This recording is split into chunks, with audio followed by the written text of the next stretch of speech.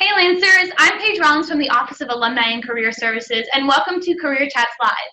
I'm so excited to welcome alumni Catherine Byers-Breet from the class of 1993 to talk about how to negotiate for what you're worth. Um, feel free to connect with us today on the tools on the bottom of your screen um, so you can answer some polls, ask Catherine live questions, and chat with your friends. So go ahead and tell us where you're watching this webinar from in the chat box on the bottom of your screen. You can also connect with us on social media at Longwood Alumni and by using the hashtag CareerChatsLive. So I'm so excited to welcome Catherine Byers-Breet, Chief Stripe Changer and proud alumna. Thank you, Paige. And hello, Lancers. I am so excited to be here. I graduated from uh, Longwood, as Paige, Paige said, in 1993, and I'm actually a little embarrassed to tell you this is my first week back on campus. So uh, it's been so much fun, and I'm excited to talk to you today about money. It is such a hard topic, and most of us struggle with it. I'll admit that I've had some uh, horrible experiences over the years, but I've also learned how to negotiate very effectively. And I hope to give you the tools today, not just for getting your next promotion and your next job, but tools that you can use anywhere in your life. So, as Paige mentioned, we've got a chat box, we've got polls, and let's just run a quick little poll to get your fingers warmed up because webinars can be really boring if it's just me talking at you, and I would love for you to participate. So let's launch that first poll. And it's up on your screen. So if you can just uh, tell me, how long do you think the average dollar bill lasts before they take it out of circulation?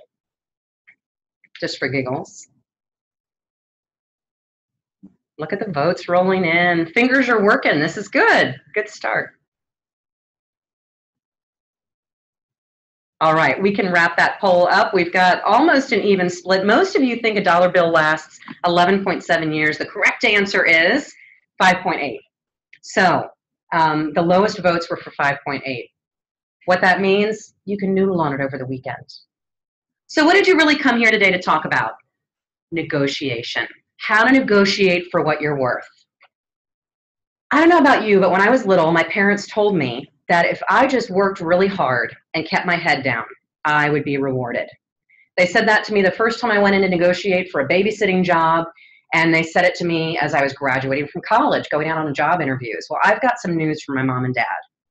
Dear mommy and daddy, that is a bunch of bunk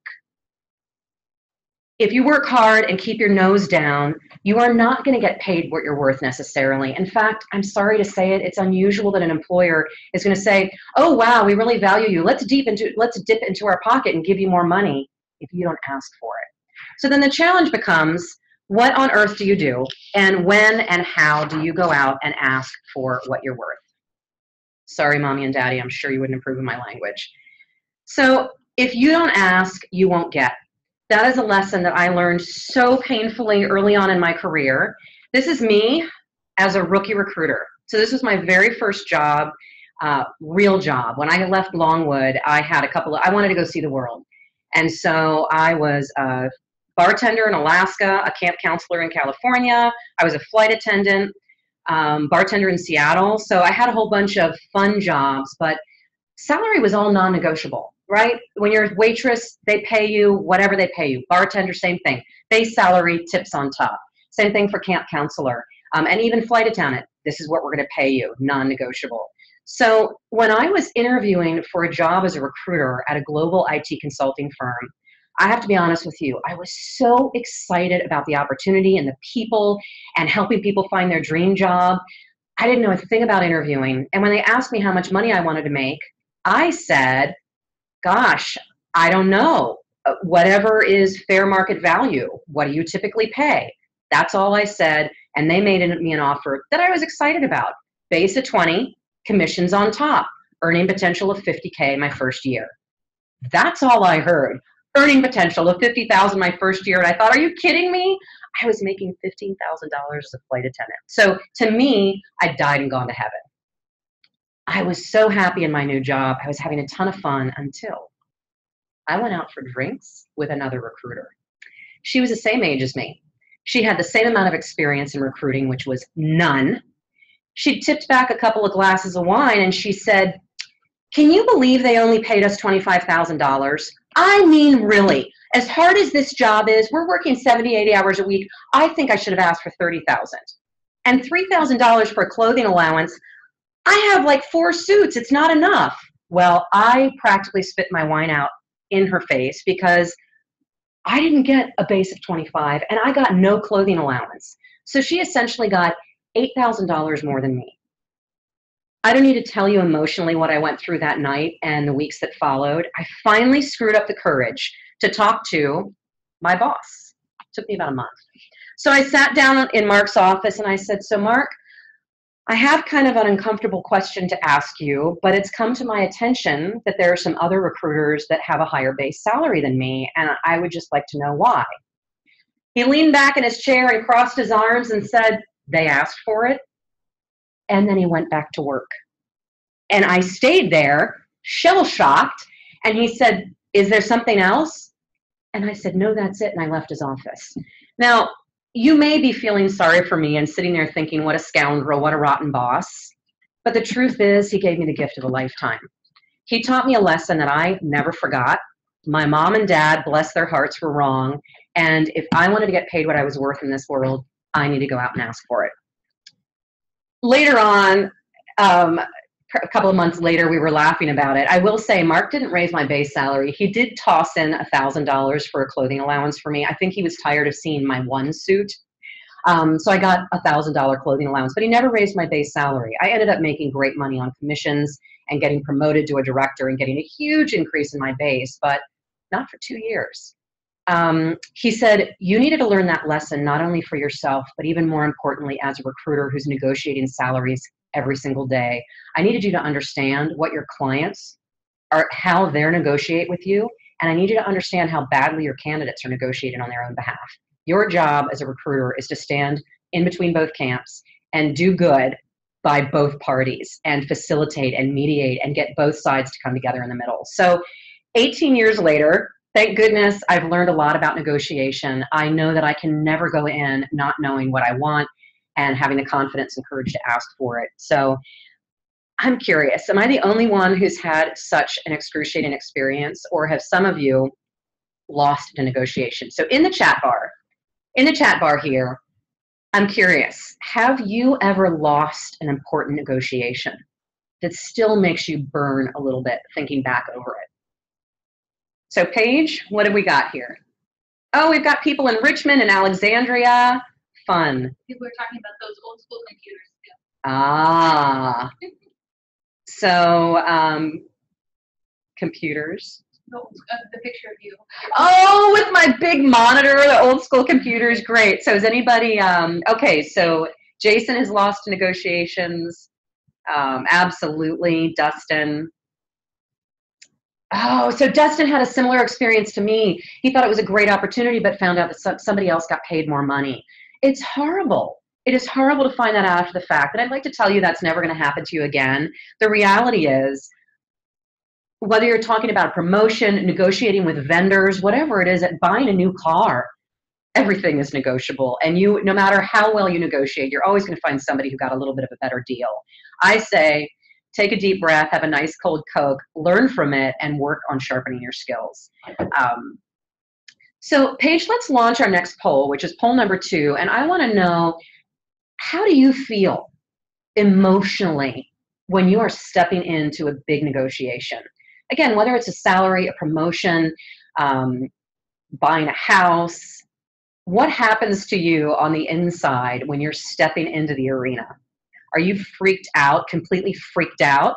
Are you somewhere in the middle, kind of nervous, but you think you got it under control? Or are you feeling like you're a pretty good negotiator and you're only here with us today to sharpen that saw just a little bit? Nice, to, nice for me to get a feel for the audience and where your um, confidence is around negotiations.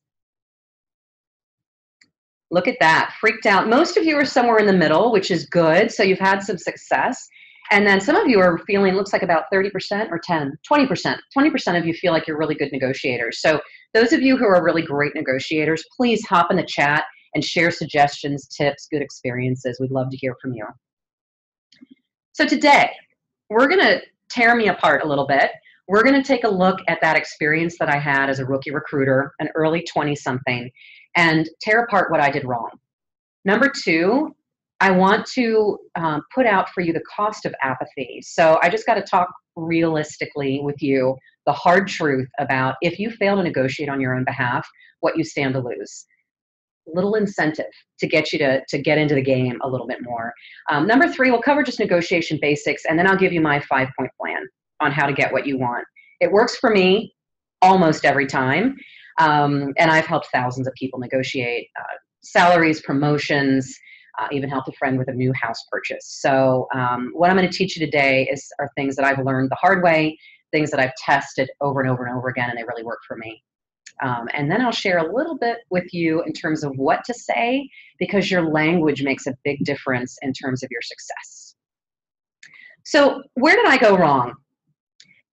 Well, my boss told me it was simply because I didn't ask for it. And that was the most important reason why I didn't get it.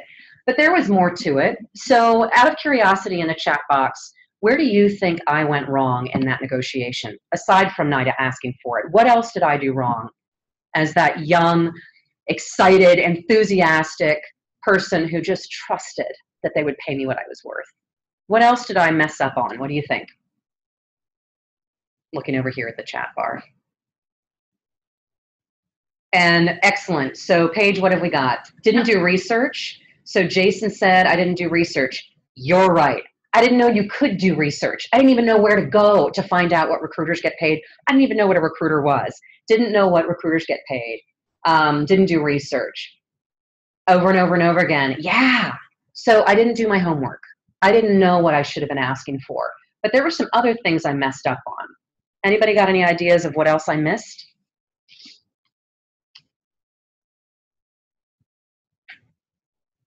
research. That's all right. That's why you're here. Okay, so I think there are five places that I screwed up. Confidence. There we go. I was hoping somebody was going to hit on it. So Nicole said, I didn't have the confidence. I didn't. I was a flight attendant. I'd never worked in an office. And I was surrounded by a whole bunch of people driving BMWs with $1,000 suits, successful, doing deals. And I just felt grateful that they thought I had a chance of success. So I didn't have the confidence to think that I even had a right to demand more money. Um, not being assertive, yes. So that's one big ball of wax. The insecurities guided my behavior around it. Um, so where I think I went wrong and where I've seen over and over and over again is I didn't know what I wanted. So even before doing research, I should have thought about what do I want? What do I need? See, as a flight attendant, my commuting money was really little. I only traveled to the um, airport maybe once, once or twice a week. I was all of a sudden commuting every single day. I was I needed more gas money. Um, as a flight attendant, I had one uniform. As a bartender, I had one uniform. Now, in a professional office environment, I needed at least five professional outfits. That costs money. So, um, eating lunches out, I, I didn't calculate all of these things. My cost of living went up dramatically with this new job. So I should have sat down and figured out those sorts of things and figured out a base of 20,000 was like my bare minimum. Um, number two, you guys nailed it. I didn't do research. I didn't know what I was worth in the market. Didn't know that I needed to look. Didn't know where to go look. Number three, I had no idea. The only motivators that I thought Mark had was I want to give this girl a chance. I think she might be good. I didn't think it would pay more money for me because I felt like a risk. So I assumed that he was just kind of taking a risk on me and that I would get the lowest salary possible because of all of that. The truth is, I'd been a temp there for one week, and Mark had seen the way that I dealt with people on the phone and in person, and he saw tremendous potential, and he would have paid more for me. I didn't get that. I didn't understand that. Um, he was also attracted to me because my network on both coasts, because I wasn't from Minnesota. I was brand new there, and so he thought it would be great for me to be able to tap my network in the broader United States. Um, number four, I didn't prepare for the conversation. I didn't prepare for the interviews at all. So I just, I winged it. I just, I didn't know what they were going to ask me, and I just handled every question as they came. Really bad idea. Um, and then number five, once they made me a job offer, I still could have recovered at that point. I could have gone out, done some research, talked to some people, and figured out should I go back and counteroffer. Didn't occur to me. So those were my five big mistakes. And these are things where most people make mistakes when they're negotiating. So I'm going to jump to fear. Nicole touched on it when she said that I didn't have the confidence. When you talk about lack of confidence, what you're really talking about is fear. So in the chat box, fear of what? When I tell you that I was afraid, I was afraid to negotiate, I was afraid to talk about money, what was I really afraid of? So in the chat, just think about it, that situation. What do you think I was afraid of? Rejection. Number one, I was afraid of rejection. Losing my job, yes. And the truth is, if you push too hard and you ask for an outlandish amount of money, you will lose the deal and they could potentially pull the offer. So there's an art to this. It's small part science, large part art, and we're going to talk about that. Um, so I was afraid of those things. I was afraid they'd turn me down. Embarrassment. That moment, if you ask for, gosh, you know, thank you so much for the offer. I'm excited to start with you on Monday. Out of curiosity, is there any chance that you could give me 3000 more dollars. My commute's going to be long, and um, that would just really help me out a lot. What if they said no? What if they looked at me and said, What? Are you crazy? Do you know how little experience you have? Do you know what a risk you are? Fear of embarrassment, fear of arrogance. Did anybody get that? No. Okay. So, fear, none of us like to think about being afraid. And we all like to think, I'm big and I'm grown up and I don't get scared anymore. I'm just going to push through it. I'm just going to stuff that anxiety down. The truth of the matter is, when you start to feel anxious, you are afraid of something. And the sooner you're willing to stare that fear in the face and figure out exactly what it is that you're afraid of and then handle it and prepare for it, the more successful you'll be. I promise you, because I've learned the hard way, if you stuff it and you just cross your fingers and hope they don't ask me a hard question like, how much money do I want to make? A, it's going to happen, and B, you're going to choke. So, what are you afraid of? As you clearly, you came today for a reason. You're either negotiating a raise, you want a promotion, um, you want a corner office. Maybe some of you are here because you want to negotiate with your current boss about more flexibility at work. Whatever brought you here today, I want you to think about that big moment and in the chat box, share with me what's the worst that could happen to you if the negotiation doesn't go well? What are you afraid of?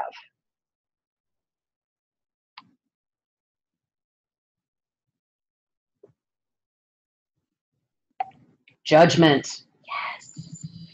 What else?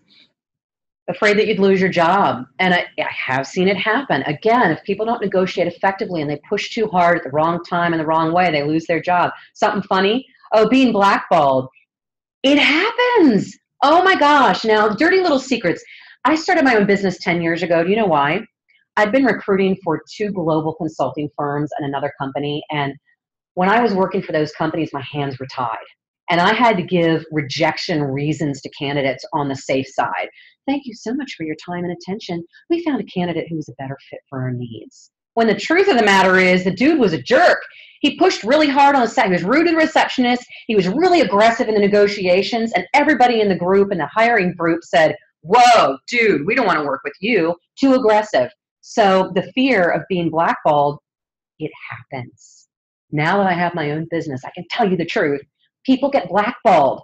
I know who the people are in my market that have been blackballed that nobody wants to hire. They're bull in the china shop. So the fear of being blackballed is a legitimate concern.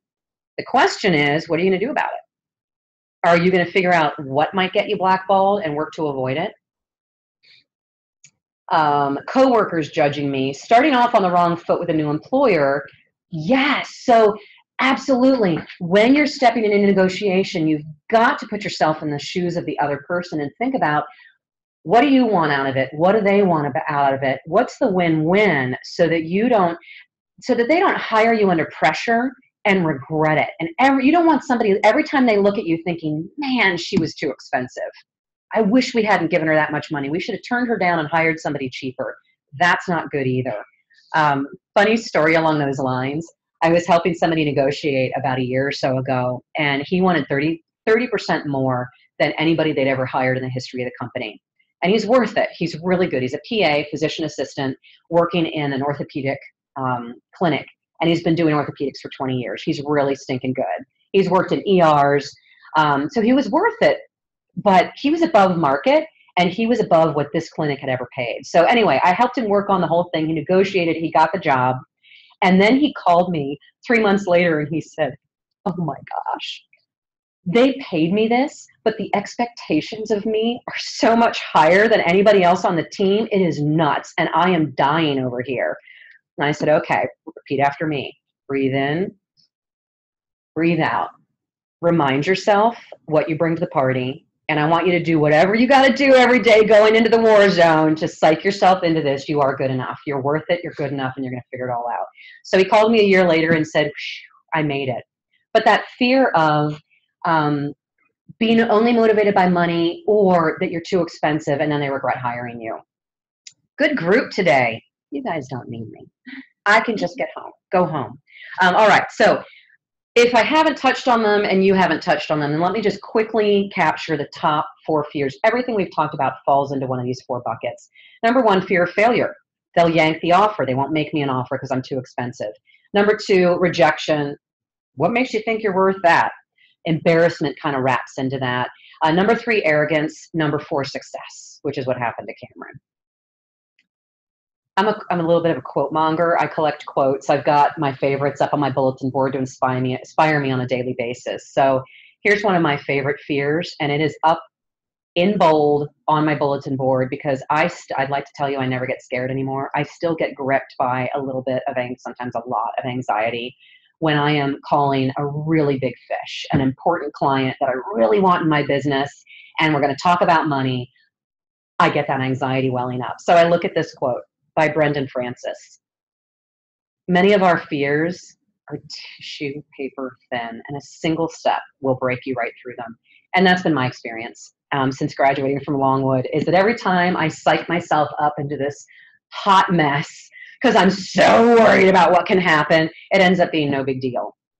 So stop doing that to yourself. Get a strategy, and I'm going to share mine with you here in a little bit. The cost of staying quiet and sitting back and taking my parents' approach. I work really hard. If they want to keep me, if they want to get me, they're going to just pay me what I'm worth.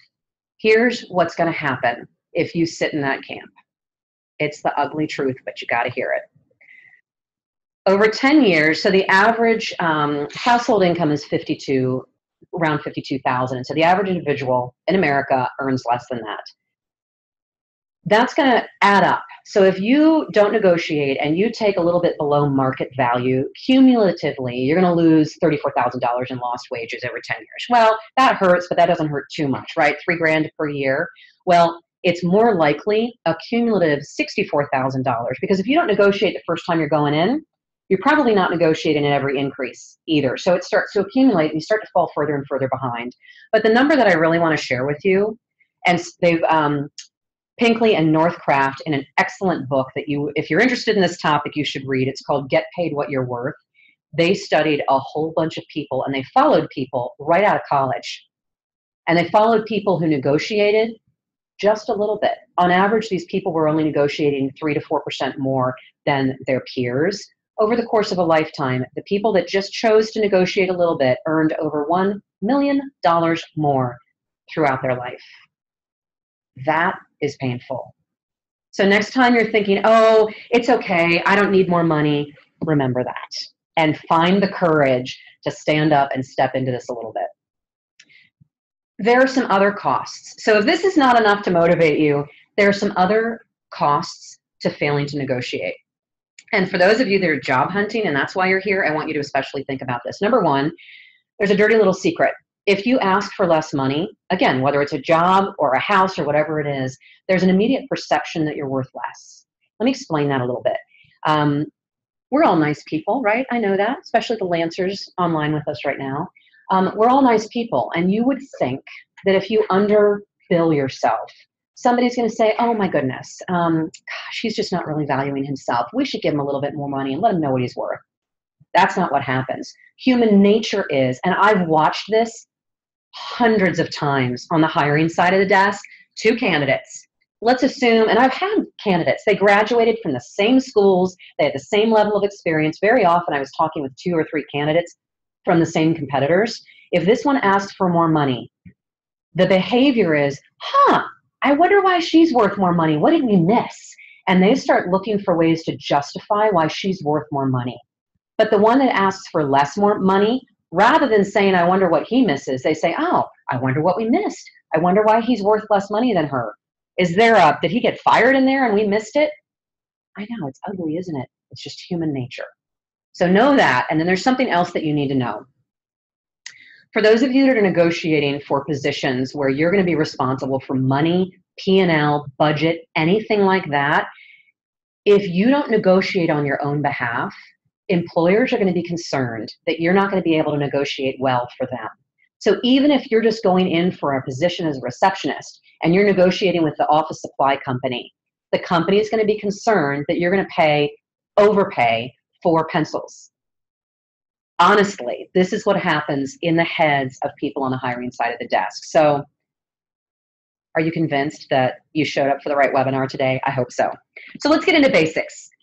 And you guys actually know this, so I am just gonna run poll number three. Paige is gonna launch it for us. What do you think are the critical success factors in any negotiation? And hopefully this is a click all that apply. Can they click? Yeah, multiple choice. Paige is good. All right, so all that check all that apply for a successful negotiation. What are really critical components to a successful negotiation? Such a smart group. Look at that.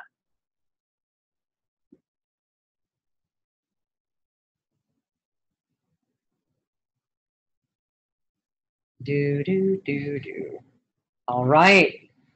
Good group. You've picked all of them. So, and that's absolutely true. So we've got, is it 63% said it's a discussion, 75 said both, both sides need to feel listened to. There's a human emotional element to this that you cannot forget. And then number three, 75%, both sides are content with the results, that it feels like a win-win. Nice work, nice work. Okay, I have an exercise for you. Okay, so what I'd like you to do is think about your last negotiation. To help you out, I'm going to tell you about my most recent negotiation with my kids. So I have two boys. They're amazing. They're 11 and 12, fifth and seventh grade. But sometimes they give me a little bit of pushback on things like screen time.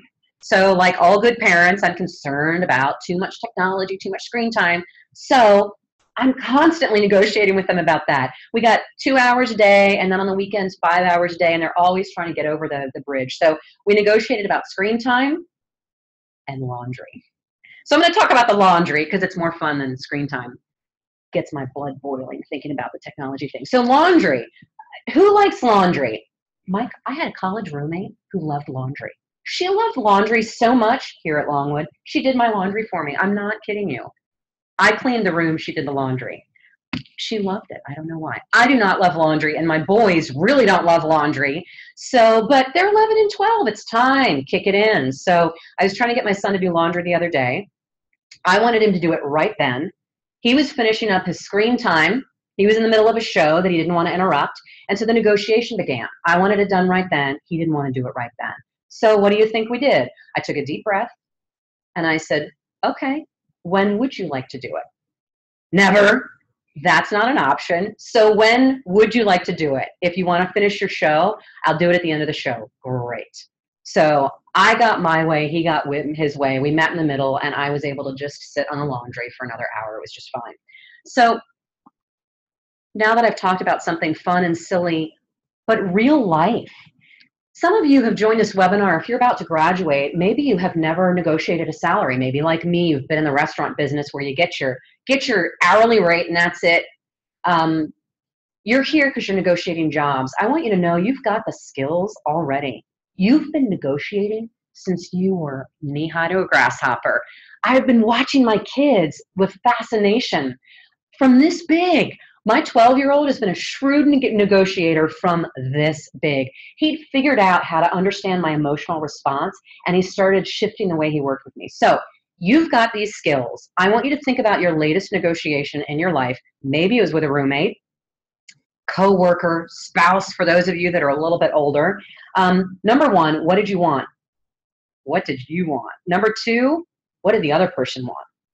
Number three, what did you agree upon? What was the outcome? And number four, did both of you feel it was a win-win? Did you both walk away feeling good, or did one of you feel like you lost a little bit? So I'm going to let you uh, noodle on that and share. Hopefully somebody will share the situation because it's more fun than me talking at you. Mm. Funny slide. The laundry or the um, lion? What was that movie? I love that movie. Madagascar.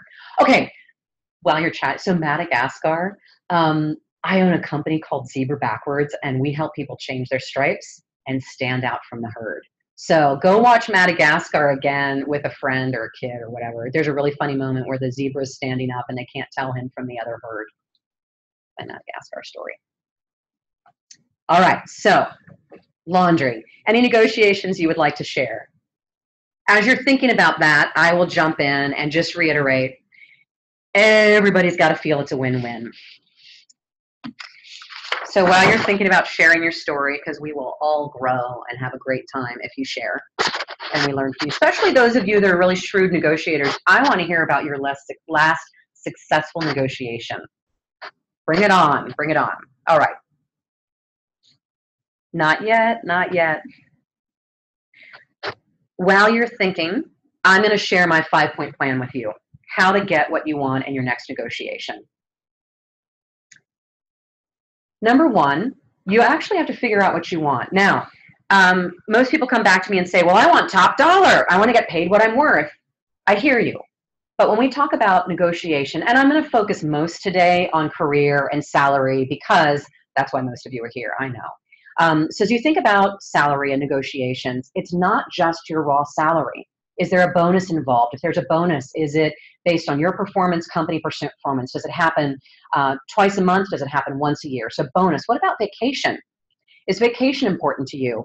Um, I was helping a guy recently who had had five weeks of vacation for the last 10 years of his career, and he had a job offer with two weeks vacation. He said, Are you kidding me? That was more important to him than the raw salary because he was accustomed to five weeks vacation. It was really valuable to him. Um, commute time, flexible hours at work, healthcare.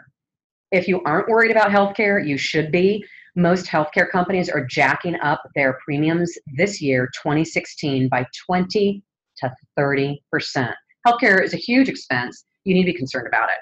So, number one, when I say know what you want, I mean, what do you need in your life? Bare bones, what do you need in terms of salary and health insurance and those kinds of things to break even on where you were or where you used to be or where you want to be? Um, and then what do you want? So there's what do I need and there's what do I want. What do I, you got to know where your bottom line is because otherwise you're going to get stuck in this vortex of chasing jobs that you can't afford to take and wasting weeks and months. And that's a nightmare.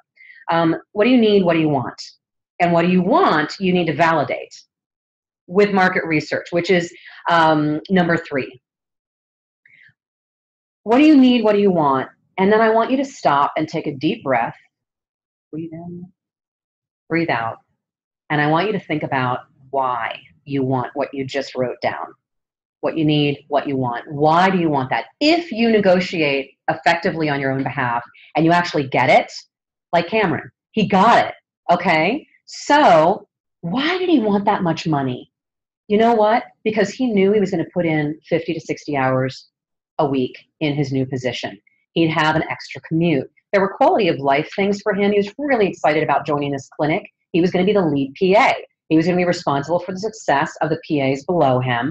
There were a lot of um, tertiary responsibilities and quality of life impact in taking that job so it was about more to him than just what do I think I'm worth because I'm really good at what I do. It was about is it worth leaving the security of my comfortable job that I'm in right now to go off on this new adventure? I'm going to crank up my expectations a little bit to make it worth it to me. So his motivators were more than just money. And yours should be too. Yours should be too. Um, so number three, know your value. We've talked about research. Um, where can you go for, for uh, research? We'll talk about that in a little bit. And number four, discover and negotiate as you go. So a lot of one of the biggest mistakes people make in negotiations is they sit and wait for the other guy to talk about money. Now I'm going to talk about both out of both sides of my mouth here. So please listen carefully. A first conversation is like a first date. That's where you want to get them to fall in love with you. So if it's a first interview or a first conversation with your boss when you're asking for a raise, it's about warm fuzzies, get them what they need, get them excited about you. So if you're going for a job, first date, you don't want to tell them that you don't squeeze your toothpaste from the bottom of the tube, right? It's all good. No skeletons, no hard talk about money. But by the second date, if the other guy's not talking about money, a lot of experts on negotiation and especially job search advisors are going to tell you the first guy to talk about money loses. Let me tell you reality. The reality is, if neither side talks about money until the job offer comes in, things blow up.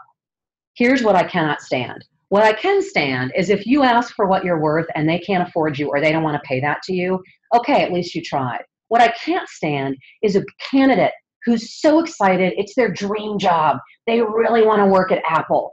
And Apple, it's their dream candidate. They really want them on board, and nobody talks about money. And they both think they're in love with each other, Apple tosses them a ring, and and the guy looks at the job offer and says, "Are you kidding me? That's what you offered me?" And either walks away, A, walks away and the deal is blown, B, tries to come back and ask for more money and they can't get it at that stage, or C, takes the job and regrets it. That's what happens when nobody talks about money until a job offer is extended. So the magic sweet spot is somewhere in the middle. And we're going to talk about what to say and how to say it. I know I'm on my soapbox. I get a little fired up about this because that, you know, again, thousands of interviews, and, and when it's not a good fit for money, for whatever reason, good. I'm glad we dodged a bullet. But when it's a perfect fit and things blow up because everybody was too afraid to talk about the hard stuff, that to me is heartbreaking for everybody. So you've got to discover and negotiate as you go. And then last, which I also didn't do as that rookie recruiter, flight attendant turned recruiter. I didn't plan or practice how I was going to respond to the money question. I did not at all. And if your anxiety rises when you get in negotiations, you've got to practice the conversation. You have to anticipate their objections, you have to anticipate their rejections, and practice what you're going to say. Practice breathing. The best way to do that is with another human being find somebody you know and trust. So it could be if you're still at Longwood, please take advantage of your career services center. Oh my, do you know what career services looked like when I was here 23 years ago? It was a student assistant and a file cabinet with paper jobs. Yeah, that was career services for me. I am I am so impressed with what Longwood is doing for their students and their alumni. Take advantage of it. Um, practice. Ask if they have a few minutes to practice talking about money with you. You can even do it over the phone, which is a great thing to do because a lot of the times you're going to be on a phone screen talking about money. So let's dive into each of these a little bit, but I'm going to pause for a moment and ask Paige if we have any burning questions. So Jason brought up a question about his negotiation. He says he always has to negotiate with his friends and his partner about restaurant bills instead of just going Dutch or insisting on paying the bill, he offers to pay and promises that next time can go out, so we guarantee another date for another appointment. And who's that, Jason? Jason. Okay, Jason, um, you don't need my help. You are you are oiled for life. That I do that all the time too. It's a great strategy. So you're hitting all sorts of uh, birds with that one stone. You're negotiating effectively. You are creating a, a warm, fuzzy feeling with everybody, and you're setting up a next meeting with them. I do that all the, all the time in my business. When I'm meeting with somebody that I want to maintain a relationship with, I do that as well. So nicely done. Other thoughts, comments? Okay. So let's dive into this a little bit more. Know what you want. I've run through, I think, all of this, but let me just remind you. When you're step one, thinking about what you want, you need to think about more than just the money. For any of you that have been out there working for a while, you know what it's like to wake up in a job that you don't really enjoy. And when you're not paid what you're worth, or the commute stinks, or they're rigid on the hours, you got to punch a time clock, those things affect your joy. And I haven't said it yet, but joy and fun at work is critical. You deserve it, number one. Number two, you're going to be at your best when you're having fun at work and you feel good about your compensation. Fun at work. Hold on to it with all your might. If you are not having fun, you got to ask yourself why not and do something about it. So, what you want job title. Sometimes people are really hooked on job titles. If you've been a director, um, you may not want to step down into a manager role and on and on. So think about job title, think about duties and responsibilities. A lot of times in your career, you are going to be shifting positions. And sometimes you're going to be stepping up, sometimes you're going to be stepping down.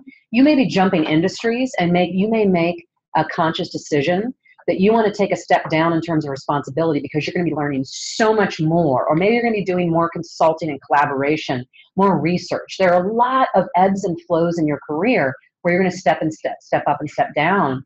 Pay attention to that. You got to be mindful of are you stepping up stepping down stepping left? Number two full-time versus contract. And we're going to have a little bit of time to talk about um, money and how that breaks out. Get out your pens. Let me tell you how that breaks out quickly because almost 40% of Americans are working something other than a full time salaried job right now. Let me say that again. Almost 40% of Americans are working something other than a full time salaried job. When I got into the consulting business in 1997, a long time ago, um, it was about 18%. So we've gone from about 18% up to almost 40%. You cannot afford to ignore contract work and a lot of you just got the hairs went up on the back of your neck because you want a full time salary job because that's what my parents did. That's what I want. That's more secure. No, it isn't. If you don't believe me, I want you to just turn around in a circle and see out of everybody you can touch how many of them have been laid off, whacked, right sized, downsized, especially among your parents. Oh my gosh, um, the days of job security are gone every job really is temporary, whether you're getting paid on a full time salary basis or a contract basis. Um, how it breaks down. If you your frame of reference is a full time salaried position and you want $30,000 a year, the way to break that into a contract hourly rate is this. Let's call it 50K because it makes my math easier. So if you're looking at $50,000 a year, the average person works 40 hours a week, two weeks vacation, that's 50 weeks. That's 2,000 hours per year. Take your salary or your desired salary, divide it by 2,000 hours. That's your hourly rate.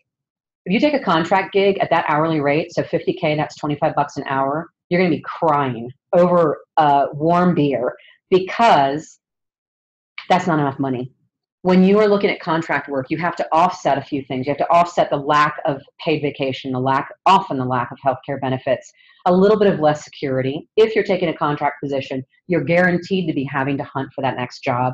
You might have some downtime, unemployed time in between gigs. You've got to offset that. The cost of health insurance. If you're self employed and run your own business like I do, even as a contractor, you're going to have to take out your own personal health insurance, and that is expensive. So what you need to do is add 30 to 50% minimum on top of that 25 bucks an hour. So mathematicians in the room, what's 30% on top of 25 bucks an hour? We have a live audience here today too. 750, 3250. So if you are accustomed to $50,000 a year or that's what you're expecting, you need to be asking for 3250, right? 3250 per hour. Hmm? That's 30%. 30% is 3250. So bare minimum, you need to make 3250. When you're negotiating, I want you to go in and ask for at least 35 and give them some wiggle room to come down. That's the quick and dirty on full time versus contract. All right, compensation, benefits, growth and advancement opportunity, training and education, flexibility, commute these are things that often come into a negotiation around career and you need to think about what's important to you and then you need to rank them in order of importance. So to those of you that have our online system there's a section in there there's a video and there's an exercise called the job hunt scorecard. It's a little tool to help you rank all these things. For those of you that don't have our system that's okay. Get out a piece of paper and jot them down and rank them in order of importance. So for an exercise i want you to jot down why you want. So I want you to think about that next big thing you want to negotiate for. Is it a job? So it's a salary, compensation. Is is it that? Are you negotiating with your wife to take a weekend off and go hunting? I don't know. What's that next big negotiation? Yeah. What's that next big negotiation you want to make? And I want you to answer three questions. What will you get if you ask for what you want and need? What's the upside for you? What's in it for you to go for it and dare and ask for what you need and want? Number two, what does that win look like? What will your life look like if you get that thing you want? And then number three, similar. So what's the win to you and what will your, what will your life look like? So think about that. And if you're willing to share, which I would love for you to share, um, let us know. What is it that you want and what is your life going to look like on the other side if you get what you want? Let's see if anybody's playing along.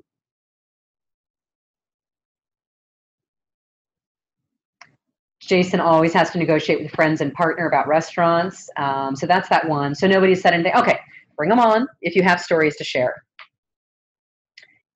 I hope you take this away and really think next time you're entering into it. Why did, is it just is it just an ego thing? Do I just want my kids to do the laundry right now because I'm the mom and because I said so? My parents always said to me because I said so, and I hated that. I hated that as a kid. And sometimes I catch myself saying that to my kids. And you know what? It wasn't a great, it is true, it's my house, blah, blah, blah. But my kids don't respond well to that when I say, because I said so. So I have to think about what's in it for me? What do I really want? I want the laundry folded and put away nicely in their closets. Does it really matter if it happens right this instant or if it happens two hours from now? As long as it's done by the end of the day, I'm, I'm good with that. So I have to think about my, what do I really want? I want the laundry put away, and I don't want to have to be the one to do it. Um, am I willing to wiggle on when they get it done? Yes. So Elizabeth says to get a new job that will allow me to move to a better place and allow me to move to Portland. I love Portland. Great. And one day follow my dreams of have a horse. I grew up on horseback. What kind of a horse do you want? I grew up on quarter horses. Mm-hmm. What kind of a horse do you want? And Paige, Paige, yeah, Paige Rollins has got a horse. And what kind of a horse do you have, Paige? I forget. I'm an Arabian.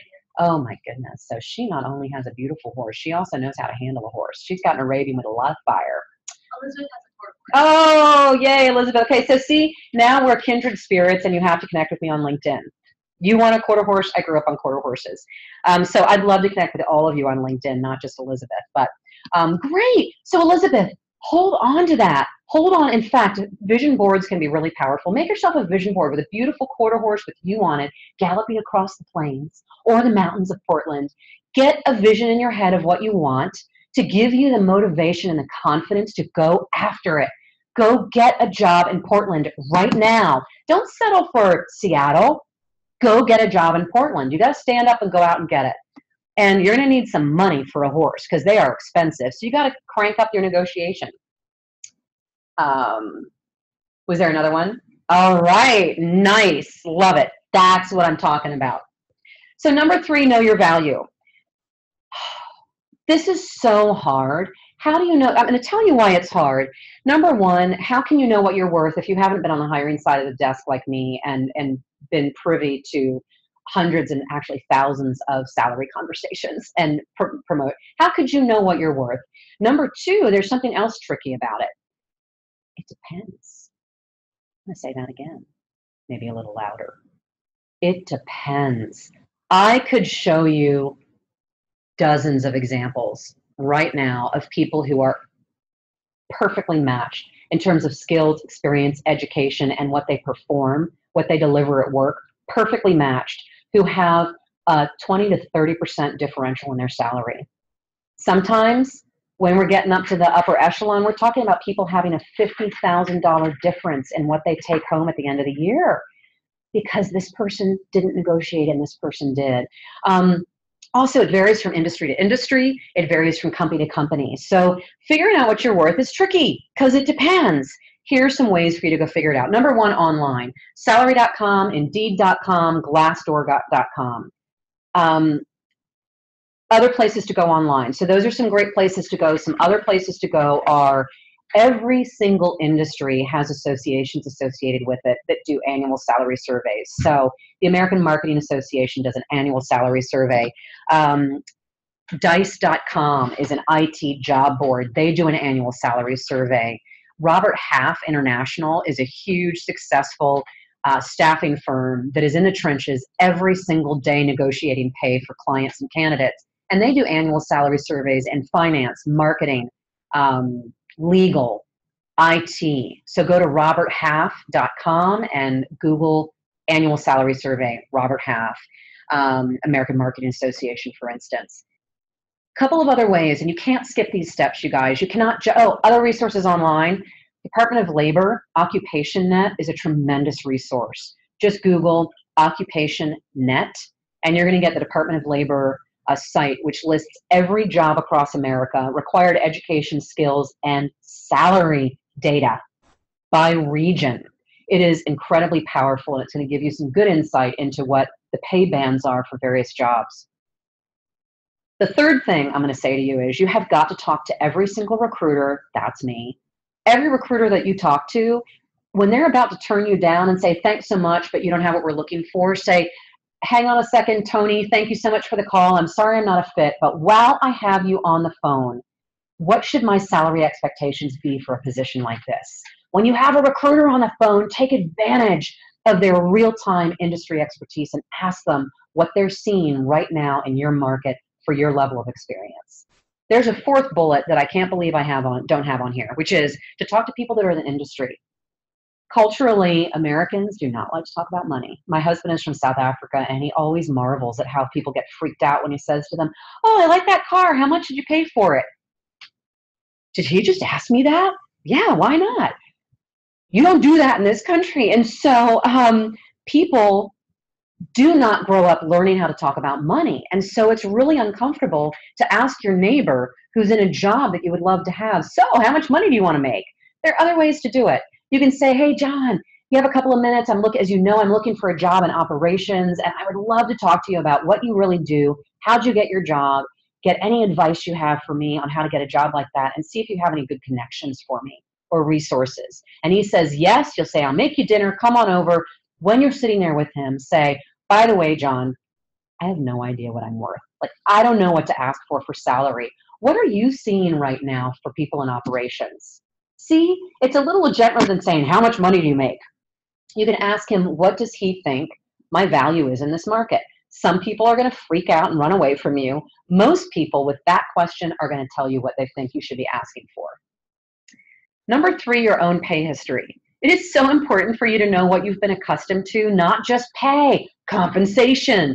How many times have I seen people who were so focused on just the paycheck, they forgot about healthcare, 401k, paid vacation, um, gym membership, and all of the bells and whistles. And then they take the new job and they wake up and say, oh my gosh, I left $5,000 on the table.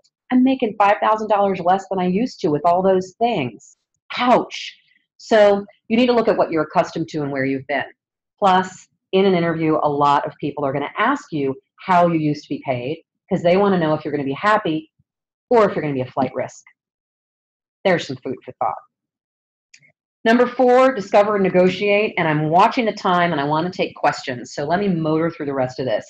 Discover and negotiate every step of the way. Um, ask the hard questions, pre close the deal, and be objective. That list of what's important to you that I asked you to do earlier, I want you to make that list of what's important to you. I want you to hold on to it and I want you to reference it consistently throughout your job search. Every step of the way, come back to your scorecard and look at do I know what the answer am I going to get this? Are they going to pay for me to get training? What is my vacation? And by the time you're getting close to getting an offer, if you don't have answers to those questions, it's time to start asking those hard questions. And then I've talked about number five plan and practice. Grab a friend, grab a buddy, better yet, grab a professional in the industry who knows what they're talking about and do a mock interview and practice talking about money with them and negotiation until you feel more comfortable, until you don't want to throw up anymore. Then you know you're practiced and you're ready if you don't want to throw up anymore. Okay? Little anxiety is good, wanting to throw up, not good. So, what to say? I have some scripts for you. Next time you're going into a salary negotiation, here are some ideas for you of what to say. And I've used these over and over and over again, and they work. Option A if it's a first date, if it's a first date, a phone screen, a first interview, I want you to delay. I want you to stall and say something like, remember to breathe and smile.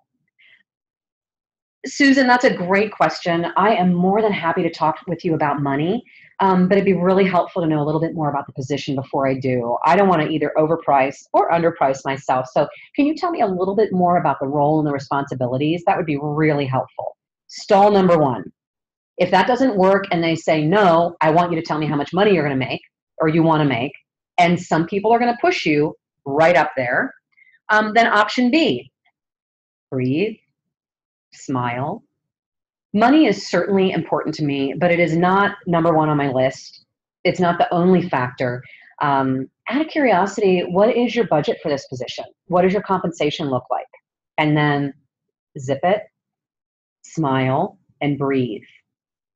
It's probably going to be a big, pregnant, uncomfortable pause at this time. That's okay.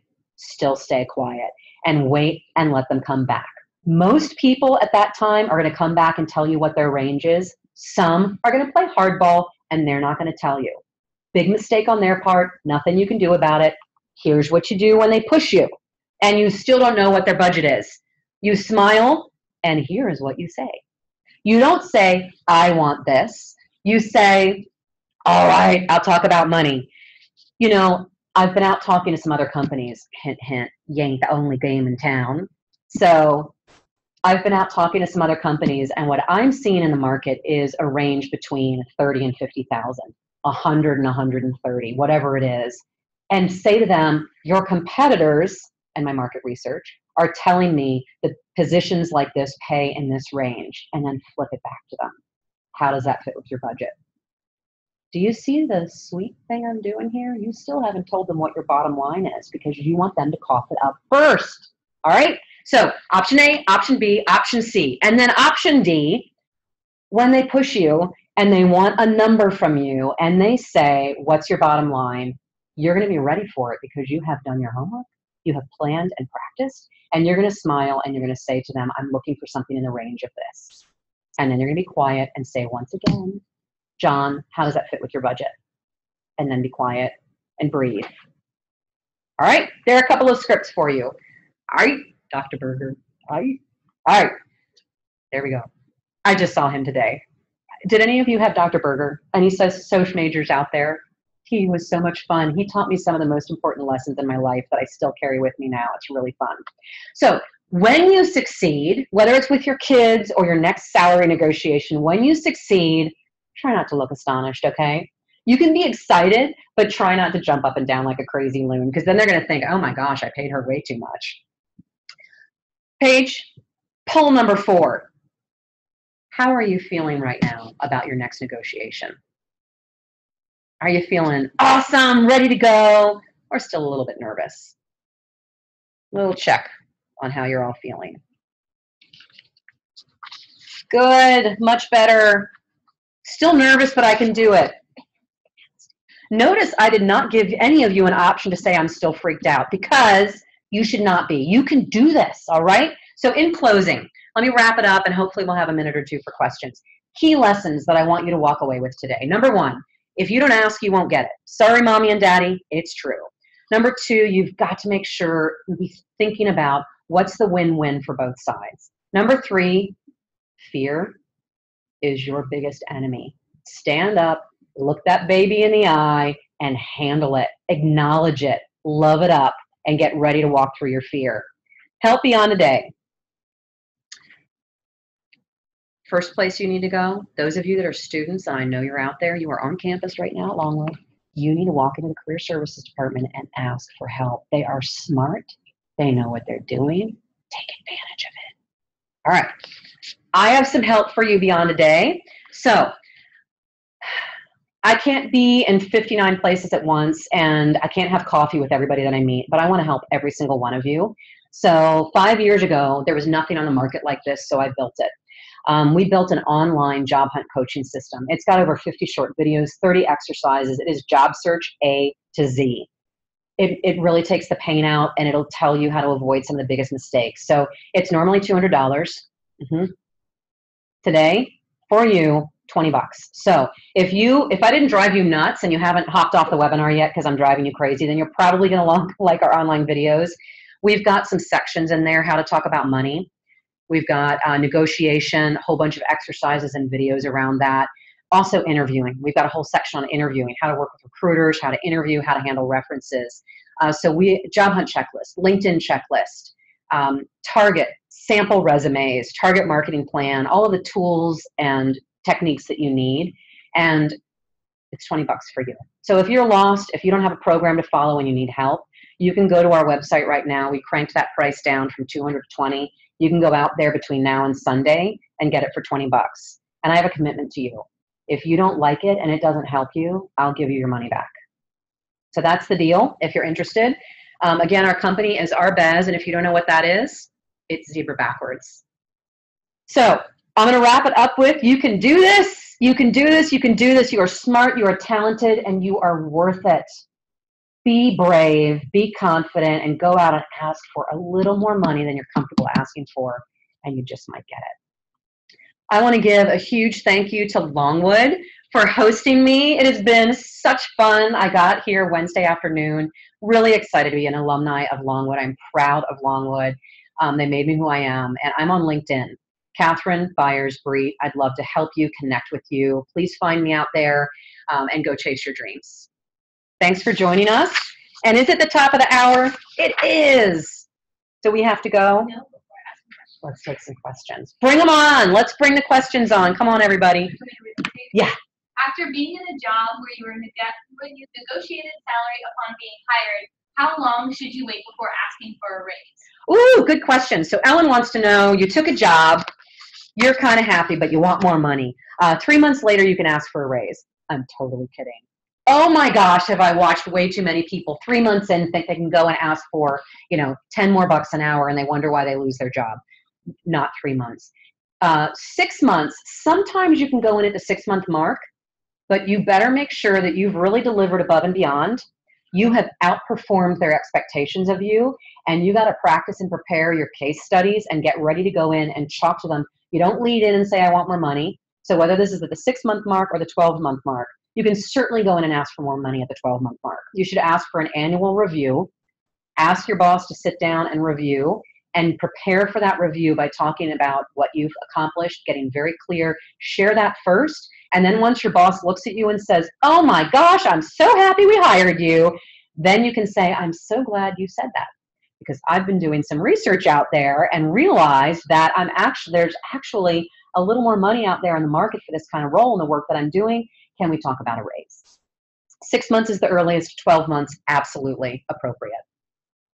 What are your best tips for internal raise negotiations, especially after a bad financial year? Dustin, what a great question. So Dustin uh, has experienced, and this happens all the time, you guys. Companies uh, ebb and flow. They have good years, they have bad years, and uh, I've lived through two recessions now. Getting up there in age, I've lived through two recessions, and the reality is sometimes budgets, uh, companies flat out cannot give raises. That's one side of my mouth. The other side of the mouth is in that climate, there are always people getting raises top performers continue to get raises every single year, regardless of the raise, the freezes on raises. So that's the dirty little secret that you now know. And the way to get it is first of all, go through my five step plan. Know why you what you want, why you want it, what you're worth in the market, go do your research. And then when you sit down with your boss to ask for a raise, be sensitive to the climate. Be sensitive to the fact that they're hurting financially. Do the whole how am I performing? What can I do better in my job? How can I help you, boss Tom? How can I help you be more successful? Once you've done that and he knows that you care about his success as much as you do about your own, then say, I know that we're in some financial struggles right now. Um, I'm just wondering, what is the chance of getting a little bit of a bump in my salary? And then before you apologize for asking and say, I know, I know, stop yourself. Acknowledge they're in a bad financial situation and then say, What are the chances of me getting a raise in my salary right now? And then be quiet and breathe and smile and see how it goes. So, good luck to you. Um, I hope you get it. All right, and our last question. I was hired into a position and told that in the interview I would move into the supervisor position when my boss retired. At the time, it was only he and I. Now I have a team of four and he is getting ready to retire. I've been told that it's a possibility that I may not get the position. How would you recommend a negotiation for this? Shame on that person that hired you and set false expectations. That's why I started my business. That's why I do consulting, teaching companies how to be better in the hiring process. So, number one, they should have never made the promise. Um, they now have a, uh, an employee, you, who has every right to be upset. You have a right to be upset. They made a promise that they are now not going to deliver on. Now, I understand why the game has changed. The, the department is larger. There are three other parties involved here. And um, I don't have time here chatting to find out what it is that those people have that you don't, I want you to figure that out. So I want you to take a deep breath and go home over the weekend and, and I want you to literally look at yourself. What have you accomplished since you started there? What is the job really that you would be taking? What is that director role? Um, what are the roles and responsibilities? You need to look really honestly at what you're missing. What are the gaps, the experience, the skills that maybe you don't have yet? And then I want you to look at those other three people. What do they bring to the party? Now I'm going to tell you that they may, maybe, let me make some assumptions just for example. Maybe they have more experience than you. That doesn't mean they'll be a better promoter than you, better promotion than you. I was promoted to director at 27 and I was I I had people that I was managing that were 20 and 30 years older than me. Really uncomfortable and I had to do a lot of um, work to get my head around that game, but they promoted me because I had demonstrated uh, tremendous passion for grooming rookie recruiters. And the other people on the team hated rookie recruiters. they didn't have any interest in that whatsoever. So that was one of my uh, aces in the hole.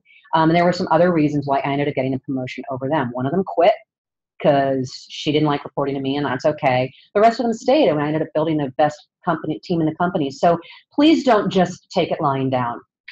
Try to figure out what they have that you don't. What are the gaps? And then sit down with your boss that's retiring. If you have a good experience with them, sit down and get their advice and say, I understand that I'm now competing with three other people. I would really love your suggestions on what I can do to be the one that they pick. Take your boss off campus, out to lunch or breakfast, pay for it, and say, I would really, I admire you, I respect you, and I could really use your advice. Can you give me some advice here on how to get that position? What am I missing? What do I need to do? So good luck. I hope you get it. Is that it? All right. Thank you, everybody. It's been great having you here today. Enjoy your weekend and go Lancers.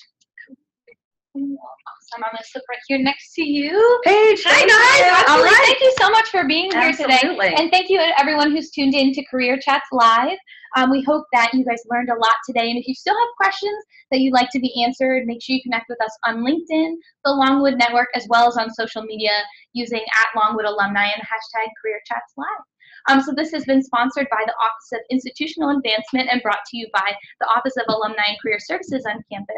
And for the first ever time on campus, we're having a Longwood Giving Day on March 4th. So no matter where you are, um, near or far, there's always opportunities for prizes and to show your Longwood spirit. Hey, even $25 counts. so that's just our shameless plug. And we hope to see you guys at the next Career Chats Live, which is two Fridays from now at 1 p.m., same time, same place, with John Hill, a former LinkedIn employee, so he knows all the secrets, as well as he's a networking pro. So learn how to be a networking strategist there. And we hope to see you guys soon.